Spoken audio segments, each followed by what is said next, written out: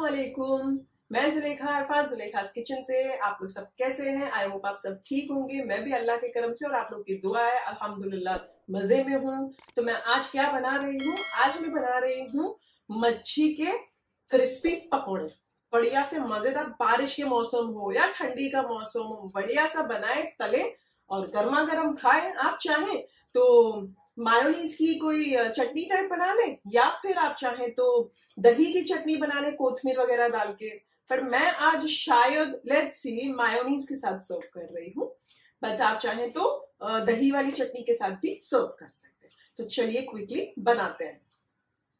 ये है 500 ग्राम रावस की बोनलेस। आप कोई भी मच्छी का बोनलेस ले सकते हैं। आप जहाँ से भी लेते हैं, उनसे कहेंगे तो वो बोनलेस करके देंगे या फिर आप घर में भी कर सकते हैं। वैसे मेरे पास 750 ग्राम सी है पर मैंने इसकी 250 ग्राम की फ़िश साटे बनाई है, उसका लिंक डिस्क्रिप्शन के अंदर है और ये 500 ग्राम है। मैंने इसे धो लिया, नितार कर ये बाउल में डाल दिया है।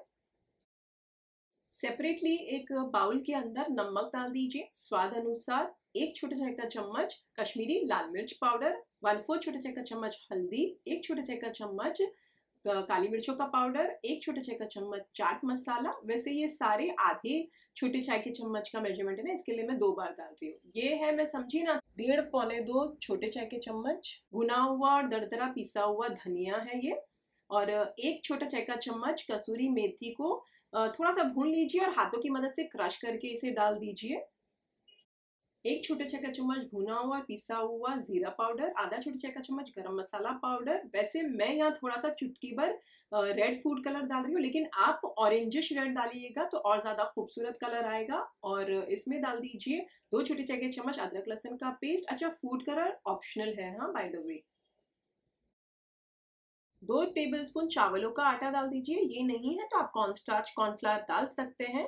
और थ्री फोर्थ टेबल स्पून नींबू का रस वन फोर्थ कप मैंने पानी साइड पर रखा है, इसके साथ पहले तो मैं मिक्स कर लेती हूँ। और ये देखिए, अभी भी ब्लेंड बराबर मतलब अच्छे से थोड़ा सा थिक नहीं हुआ है। तो अब मैं फिर से वन फोर्थ कप जितना पानी साइड पर रखी हूँ थोड़ा थोड़ा करके इसे डाल रही हूँ। तो मुझे ना टोटल तकरीबन है ना आधा कप लगा। लेकिन आप पहले आधे कप से कम ही डालिएगा एडजस्ट कीजिए, फिर लगे तो फिर डालिएगा पूरा आधा कप। अच्छा अब आपको ऐसा होगा कि बैटर कैसा होना चाहिए, आप देख सकते हैं, एकदम लूज भी नहीं है और गाढ़ा तो है, लेकिन एकदम एकदम भी गाढ़ा नहीं है और एकदम भी पतला नहीं है। इसी तरीके से होना चाहिए। तो अब यहाँ बिस्मिल्लाहिर्रहमानिर्रहीम बोलकर सारी मच्छियों को डाल दीजिए जो हमने बोनलेस साइड पर रखी है और इन सारों को बहुत अच्छे से मिक्स कर लीजिए। हल्के हाथ से कीजिएगा, मच्छी है, टूटने का डर है और चम्मच से चाहे तो चम्मच से करें, मुझे हाथ से ज़्यादा बेटर लगता है, मैंने थोड़ा सा चम्मच से किया और बाकी आगे हाथ से कर रही हूँ। यहाँ पर मैं सबसे इंपॉर्टेंट बात बेसन डालना भूल गई। तो ये है एक टेबल स्पून बेसन। मैंने इसे भुना नहीं है।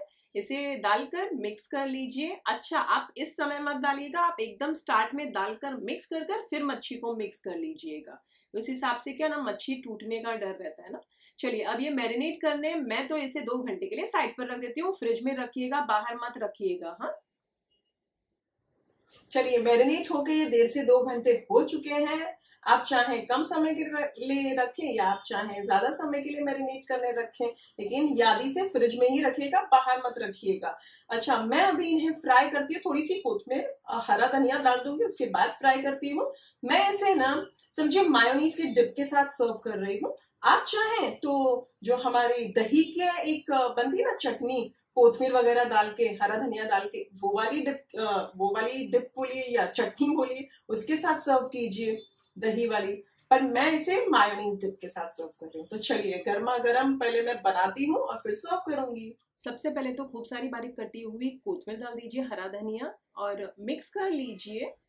तेल को अच्छा फास्ट आँच पर गरम कर लें, जब अच्छा गरम हो जाए तो मीडियम आँच कर दीजिए। एक वेल कोट मच्छी लीजिए और बिस्मिल्लाहिर्रहमानिर्रहीम बोलकर इसे ये गरम गरम तेल में डाल दीजिए। अच्छा अब इसे स्लो से मीडियम आँच कर दीजिए चूल्हे को और इसे एक मिनट तक पकने दें। जब एक मिनट हो जाती है तो पलट दीजिए, क्योंकि अच्छी सेट होगी, उसी के बाद आप पलट सकेंगे ना। एक मिनट के बाद पलट दीजिए, आधा पौना मिनट पीछे का साइड भी पकाए और फिर उलट कर पलट करते जाएँ उस मच्छी को पकने दें। तकरीबन समझिए ना, तीन साढ़े तीन मिनट तक इसे इसी तरीके से उलट पलट करते हुए पकाते जाएँ।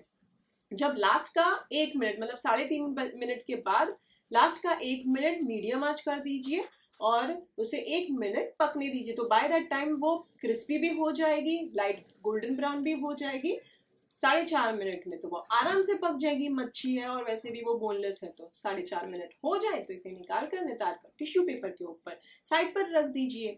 तो ये मेरी जो टेस्ट मैंने की थी, वो बढ़िया से बराबर से बनी ही है और कोटिंग एकदम परफेक्ट है तो इसे मैं साइड पर रख देती हूँ। और इसी तरीके से अब तीन चार एट ए टाइम डाल रही हूँ, ज़्यादा भी मत डालिए।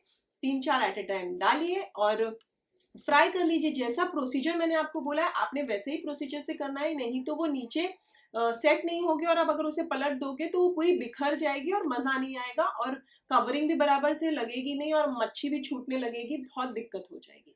तो अब आप इसे पका लीजिए और एक और पॉइंट अगर आप फ़ूड कलर डाल रहे हैं तो मैं आपको सजेस्ट करूँगी ऑरेंजिश रेड डालिएगा, उससे और वाइब्रेंट ऑरेंज कलर आएगा तो ज़्यादा खूबसूरत लगेगी। एक आप जब बनाएँ तो चख लीजिए, अगर आपको लगे कि बहुत ज़्यादा थिक है हल्का सा पानी डाल के मिक्स करके फिर डालिएगा दूसरी बा, बाकी की सारी। अच्छा आपको लगे कि बहुत थोड़ा पतला रनी हो गया और छूट रहा है सब ये जो आपका मसाला है वो तो आप क्या कीजिए हल्का सा बेसन डालकर उसे मिक्स कर कर फिर फ्राई कीजिए। तो ये आप देख सकते हैं बढ़िया से बन चुके हैं। अच्छा मैं इसके साथ डिप जो बना रही हूँ उसकी भी रेसिपी आपको मैं क्विकली बताती चलती हूँ। दो से ढाई टेबल स्पून मायोनीज के अंदर एक टेबल स्पून चिली सॉस डालिए और एक टेबल स्पून टमाटर सॉस डालिए। अब यहाँ डाल दीजिए आधे से पौना छोटा चाय का चम्मच मिक्स्ड हर्ब्स। मिक्स्ड हर्ब्स ना हो तो आधा छोटा चाय का चम्मच और डाल दीजिए। और आधा या एक छोटा चाय का चम्मच आपके ऊपर डिपेंड है चिली फ्लेक्स ये सारी चीज़ों को डालकर बहुत अच्छे से मिक्स कर लीजिए तो ये बन गया हमारा डिप आपको कुछ एडजस्ट करने जैसा लगे तो एडजस्ट कर दीजिएगा।